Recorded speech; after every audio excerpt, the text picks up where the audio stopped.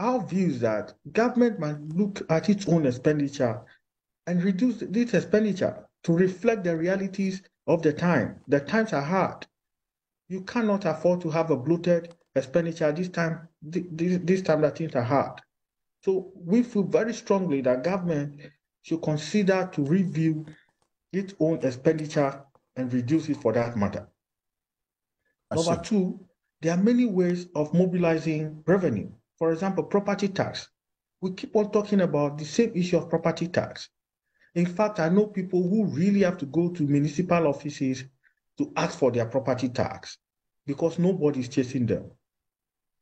ECG just started chasing people for to pay their electricity bill. Right. I said we propose that GRA should also go around to collect property tax so they can mobilize revenue.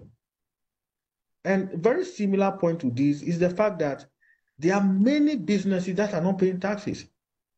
There are many businesses.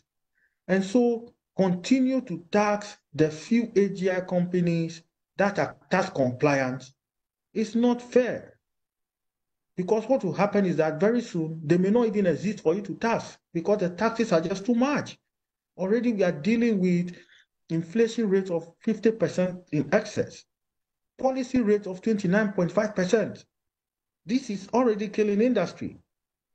So for you to continue to tax, for example, growth and sustainability levy, 2.5% mm-hmm. before, before profit, that is high.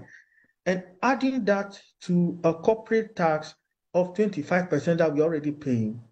So you are looking at in excess of over 25 27% of just taxes.